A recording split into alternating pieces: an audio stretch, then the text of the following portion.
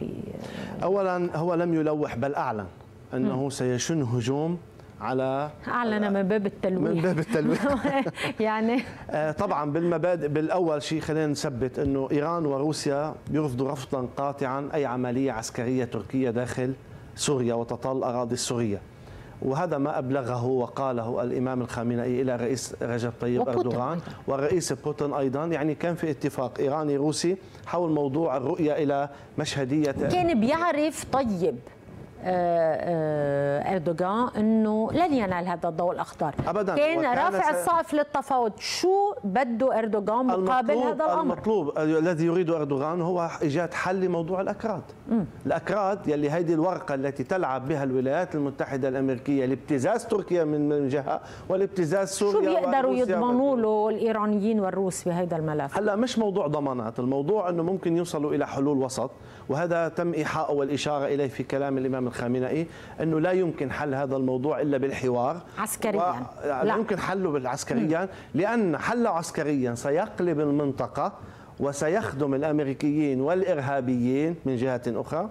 وبالتالي إيران لن تسمح باستباحة الأرض السورية بهذا الشكل.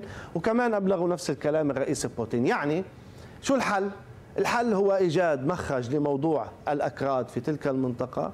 نقل إلى مكان آخر أو إيجاد حل بديل يضمن أو يبدد القلق التركي من هذه الحدود في مقابل تراجع الأتراك إلى حدود تركيا ومش تبقى الأراضي شمال سوريا موجودة معهم لأنه هلا كمان في أراضي تصل إلى 20 أو 25% صحيح. هي ما زالت تحت الاحتلال التركي في لواء اسكندرون يعني. آخر يعني. نعم شمال كما كما وصفها الرئيس الأسد إنه هذا احتلال وبالتالي إيران وروسيا يستطيعان رعاية حوار واضح مع الدولة السورية بين الدولة السورية وتركيا لإيجاد حل لهذا الموضوع. طب سبق وصار شيء من هالنوع يعني. هذا مش جديد. هو استكمال لمسار أستانا يعني. لا لا غير مسار أستانا. من فترة كان وزير الخارجية الإيراني في سوريا أعتقد الأحد الماضي م. كان في سوريا وطار من دمشق إلى أنقرة وكان ضمن هذا الإطار. م. واليوم كمان لا يستطيع أن يمر مرور الكرام وجود وزير الخارجية السوري الدكتور فيصل المقداد في طهران بالتزامن مع وجود قمة دولية بهذا الحجم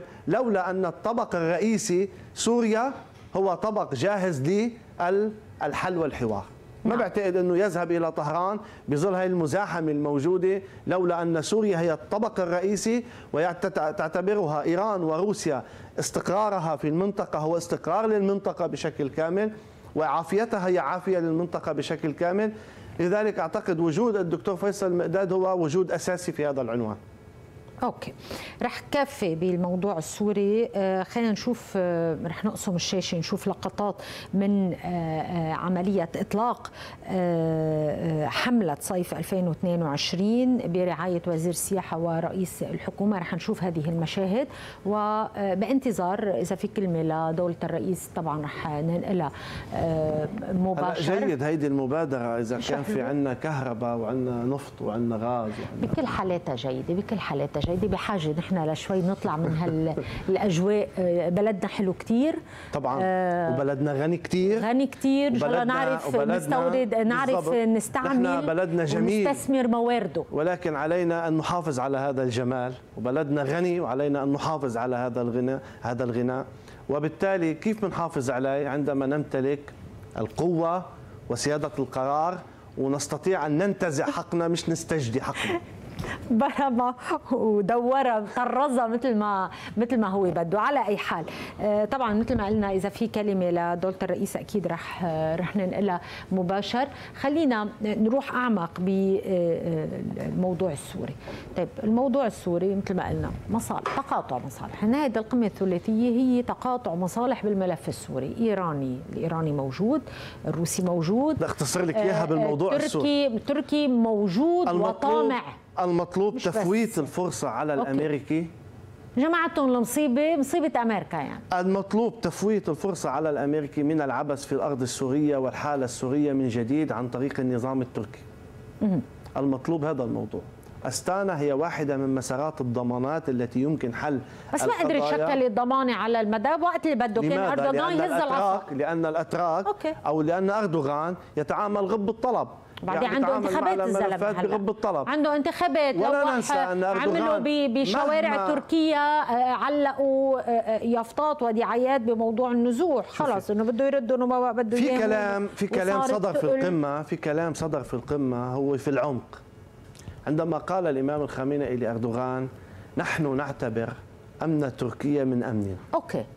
شو عم بيقول له يعني؟ تذكر تذكر شو عم الرئيس يعني؟ التركي عندما جربوا الانقلاب عليك كيف وقفت إيران okay. إلى جانبك شو الرسالة؟ فاعتبر فاعتبر أمن سوريا من أمنك مم. اعتبر أمن سوريا من أمنك يعني كمان هيدا كلام مبطل هيدا هيدا مثل ما بيقولوا آه لا ابدا مش مبطل هذا كلام في العمق ما بدي أقول السم دس لا. الحمض بالحلاوة يعني طيب إنه عم بيقولوا له كمان نحن فينا نحرك لك آه، آه، نحرك إذا أمن سوريا اعتبر أمن سوريا من أمنك. يعني ما تغلط بأمن سوريا لأنه فينا نلعب بأمنك. خلينا نقول مش نلعب بأمنك.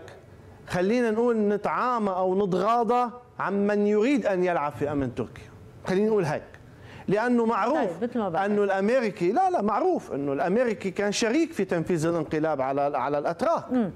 بالوقت اللي حموه الروس والايران جيد. يعني يعني في جهات أخرى تلعب في أمن تركيا. إيه بس كمان يعني لحماة بذلك الوقت. ما فينا نقول بس روسيا وإيران حمته. كمان عدم الرغبة الأمريكي بأن آه، آه، ينجح الانقلاب. هزوا له العصا للاخر الموس على الرقبة ووقفوها. طيب إذا كان ممكن أن ينجح لولا أيضا خلينا نقول وقفوا هذه الجهتين إيران وروسيا كضمانتين إلى جانب الرئيس التركي أردوغان. الآن أردوغان هل يستطيع أن يشن حرب أو يشن هجوم واسع النطاق على الأراضي السورية ومواجهة الجيش العربي السوري؟ وهل ستترك هو إيران؟ يعلم إنه ما بيقدر. هل بس ستترك إيران سوريا لوحدها؟ في هل ستترك روسيا؟ في عنده مطالب. المطلب هو الموضوع الكردي أوكي. ببساطة.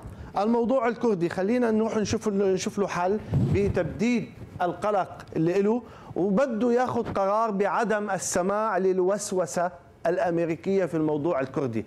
وبده يعرف تماما إنه من يلعب بالورقة الكردية خلي يعرفوا الأكراد قبل خلي يعرفوا الأكراد قبل إنه من يلعب بالورقة الكردية آه، بالبداية هي الولايات المتحدة الأمريكية.